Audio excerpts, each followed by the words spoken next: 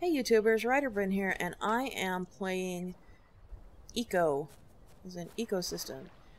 I just got it yesterday, I believe, and I'm loving the game. I've got several hours in already, and it is a lot of fun. I got it on the Steam Lunar Sale for a pretty good deal, and I noticed people said they're having trouble with the wheelbarrow. They're saying, stay away from the wheelbarrow, you can't move it, um, and I just want to show you it's really easy to use if you know how to use it. it. You don't use it like you typically would use a wheelbarrow.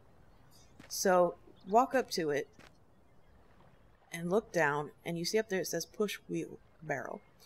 Press your E and you would think, you know, you push it forward and then you turn and this is all kinds of crazy.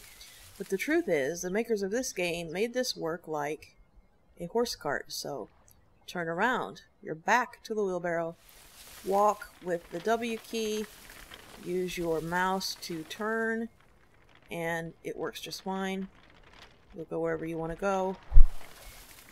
And that is how you use the wheelbarrow.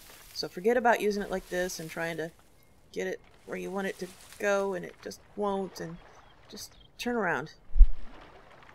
And that's all there is to the wheelbarrow. I hope this has helped you.